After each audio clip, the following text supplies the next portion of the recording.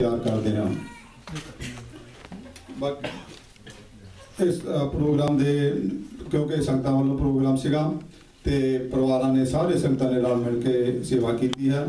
ਪਰ ਮੋਹਰ ਕੀਤੀ ਹੈ। ਤਿੰਨ ਪਰਿਵਾਰਾਂ ਨੇ ਜਿਹੜਾ ਕਿ ਪਹਿਲੇ ਦਿਨ ਦਾ ਪ੍ਰੋ- ਪ੍ਰੋਗਰਾਮ ਸੀਗਾ, ਭਾਈ ਸਾਹਿਬ ਭਾਈ ਸੰਤੋਖ ਸਿੰਘ ਜੀ ਅਤੇ ਬੀਬੀ ਸੁਰਜੀਤ ਸਿੰਘ- ਸੁਰਜੀਤ ਕੌਰ ਵੱਲੋਂ। ਤੇ ਉਹਨਾਂ ਨੂੰ ਬੇਨਤੀ ਕਰੂੰਗਾ ਕਿ ਉਹ ਅੱਗੇ ਮੱਥਾ ਆ ਕੇ ਦੇਖਣ ਤੇ ਭਾਈ ਸਾਹਿਬ ਭਾਈ ਪ੍ਰੀਤਮ ਸਿੰਘ ਢਿੱਲੋਂ ਉਹਨਾਂ ਨੂੰ ਬੇਨਤੀ ਕਰੂੰਗਾ ਕਿ ਸ਼ੋਭਾ ਦੀ ਬਖਸ਼ਿਸ਼ ਕਰਨ ਗੁਰੂ ਘਰ ਵੱਲੋਂ ਭਾਈ ਸਾਹਿਬ ਭਾਈ Santokh Singh ji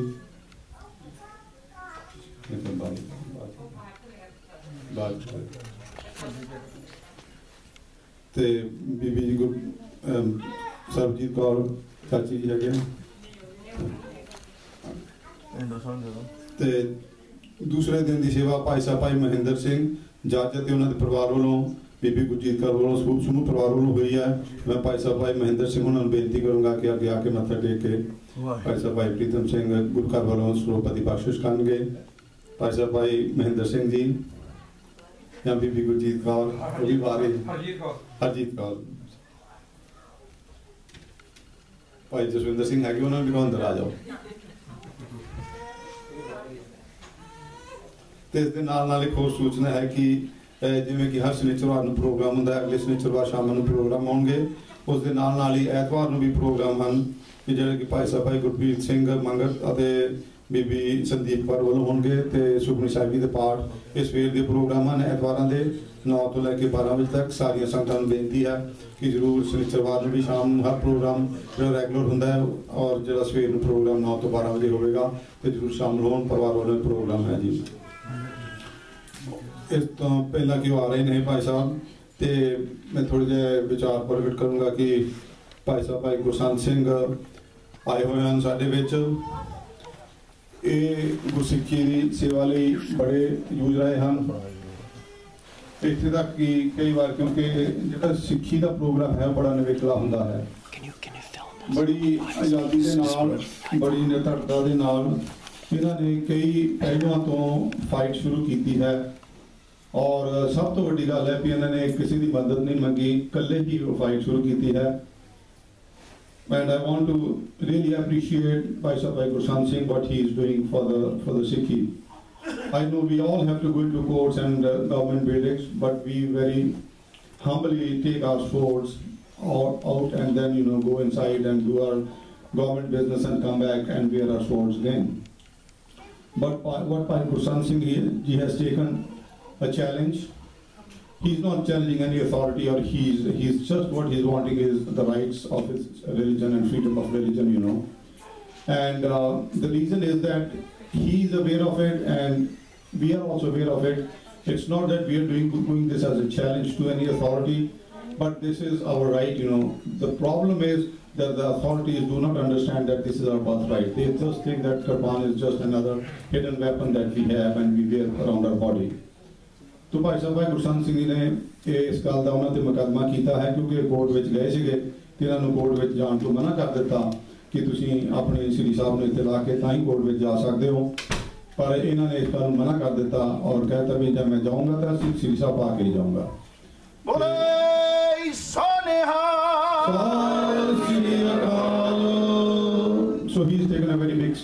is the right stand. And we also know that he's going to win, but somebody has to start the fight, you know. And um, that's what he has done.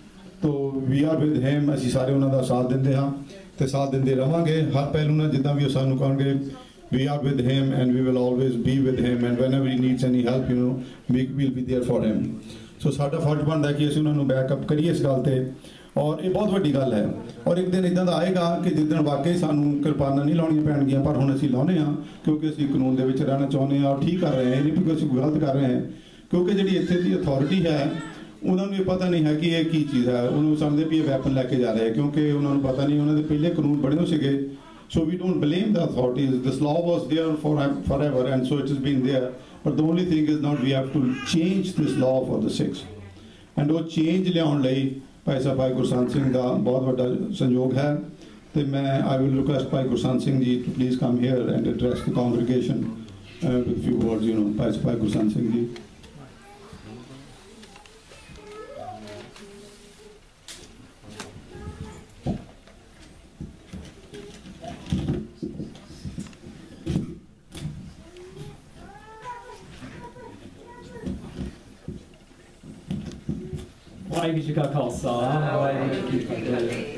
Thank you for inviting me here this morning to speak.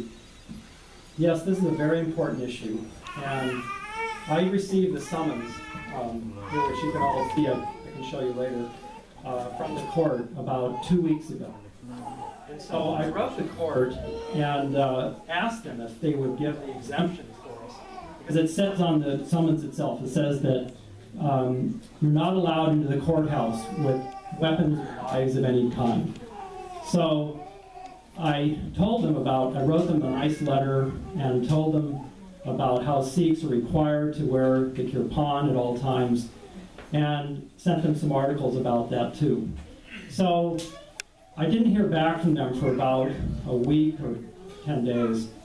And I decided to just call them and find out what was going on. So I talked to one administrator there at the court, and she said that um, uh, I need to talk more to the uh, chief uh, juror commissioner, who I talked to the next day.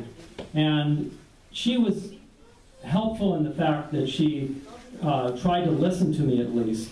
Um, but their explanation and their conclusions were definitely less than satisfactory. Because she, she sent me a letter basically saying that, um, again, they could not allow me into the court.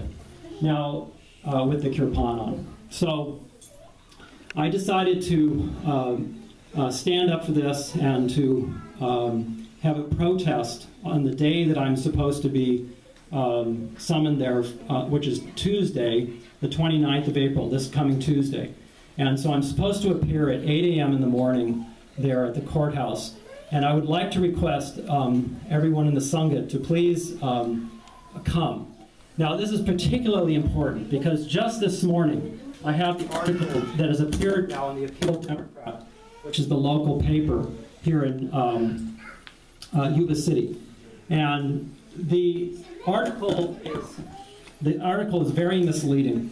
Unfortunately, there are uh, leaders here. At, I won't say names, but there are leaders in the um, Sikh community here in Yuba City that. Oh, sorry that, that are saying, from some of the other Gurdwaras, that are saying that uh, Sikhs are not required to wear kirpan, and that I should take my kirpan off at the court. Now, this is completely false. And I, I'm just, I was really shocked to see this article. You should all read the article today in, in, the, in the Appeals Democrat. And so we need to stand there and we need to um, tell the world that we as Sikhs need to wear this kirpan. It is uh, dictated and commanded by our father Guru Gobind Singh Ji that we wear this kirpan and that we, we stand as Sikhs. There's no compromise on that. Um, we need to uh, stand for uh, those religious freedoms and show, again, show the world that, that what Sikhs are really like. And we, we don't um, uh, stand down from our beliefs. So please join me uh, on the 29th of um, April, that's Tuesday, at 8 a.m. I know it's a weekday and it's kind of early in the morning, but I think it's really important. There'll be a lot of press there, I can guarantee you. And um, you're going to want to see what Sikhs really believe in. So let's show them what they really believe in. And um, we'll have some protest signs there. And I, I printed up some flyers here too, um, which show the date and the time. Um, there's a Facebook page which you can see, which explains the entire situation uh, where the location of it is. And if you need a ride or um, need any kind of accommodation for getting there, uh, just call me. I put my phone number on the flyer and I'll be happy to try to arrange something. Okay, thank you very much. Why Wichita Pulse. Uh, Again, want to thank Pai Singh from the very bottom of our hearts for taking up this fight for everybody. Pai साहब ਜੋ ਕਾਰਜ ਆਰੰਭ ਕੀਤਾ ਹੈ, ਇਹ ਸਿਰਫ ਸਾਡੇ ਸਾਰਿਆਂ ਲਈ ਕੀਤਾ ਹੈ, ਇਹਨਾਂ ਨੇ ਆਪਣੇ ਇਕੱਲਿਆਂ ਨੇ ਨਹੀਂ ਕੀਤਾ ਹੈ। ਔਰ ਇਹਨਾਂ ਦਾ ਕਹਿਣਾ ਹੈ ਕਿ ਮੌਦੀ ਮੰਗਲਵਾਰ ਨੂੰ 8 ਵਜੇ ਇਹਨਾਂ ਦੀ ਤਰੀਕ ਹੈ, ਉੱਥੇ ਇਹਨਾਂ ਨੇ ਪੇਸ਼ ਹੋਣਾ ਹੈ। ਤੇ ਇਹਨਾਂ ਨੇ ਫਲਾਈਟ ਵੀ ਬਣਾਏ ਹੋਏ ਨੇ, ਸਾਰਿਆਂ ਨੂੰ ਦੱਸ ਵੀ ਰਹੇ ਨੇ ਸੱਦ ਵੀ ਰਹੇ ਨੇ, ਸਾਰਿਆਂ ਸੰਤਾਂ ਨੂੰ ਬੇਨਤੀ ਹੈ ਕਿ ਜਿਹਨਾਂ ਕੋਲ ਟਾਈਮ ਹੋਵੇਗਾ ਕਿ 8 ਵਜੇ ਜ਼ਰੂਰ ਉੱਥੇ ਪੁੱਜਣ ਕੋਰਟ ਦੇ ਵਿੱਚ, ਤਾਂ ਕਿ ਉਹਨਾਂ ਨੂੰ ਦੱਸਿਆ ਜਾਵੇ, ਕਿਉਂਕਿ ਸਾਰਾ ਕੁਝ ਬੋਲਣਾ ਤਾਂ ਇਹਨਾਂ ਨੇ ਹੈ। ਪਰ ਅਸੀਂ ਇਹਨਾਂ ਦਾ ਸਾਥ ਦੇਣ ਲਈ ਉਹਨਾਂ ਨੂੰ ਪਤਾ ਲੱਗੇ ਕਿ ਇਹਨਾਂ ਦੇ ਪਿੱਛੇ ਕਿੰਨੇ ਸਿੰਘ ਹਨ। ਤੇ ਉਹ ਪਤਾ ਲੱਗੇ ਉਹਨਾਂ ਨੂੰ। ਦੂਸਰੀ ਗੱਲ ਇਹਨਾਂ ਨੇ ਇਹ ਆਖੀ ਹੈ ਕਿ ਅੱਜ ਇੱਕ ਆਰਟੀਕਲ ਆਇਆ ਹੈ ਅਪਰੀ ਡੈਮੋਕ੍ਰੈਟ ਦੇ ਵਿੱਚ, ਜਿਹਦੇ ਵਿੱਚ ਕਈ ਗੁਰੂ ਘਰਾਂ ਦੇ ਆਪਣੇ ਯੂਨੀਵਰਸਿਟੀ ਦੇ ਵਿੱਚ ਉਹਨਾਂ ਦੇ ਜਿਹੜੇ ਲੀਡਰ ਹਨ, ਉਹਨਾਂ ਨੇ ਇਹ ਕਿਹਾ ਹੈ ਜਾਂ ਕਮੇਟੀਆਂ ਨੇ ਇਹ ਕਿਹਾ ਹੈ ਕਿ ਮਤਲਬ ਜ਼ਰੂਰੀ ਨਹੀਂ ਹੈ ਕਿ ਸਿੱਖਾਂ ਨੂੰ ਕਿਰਪਾਨ ਪਾਉਣੀ।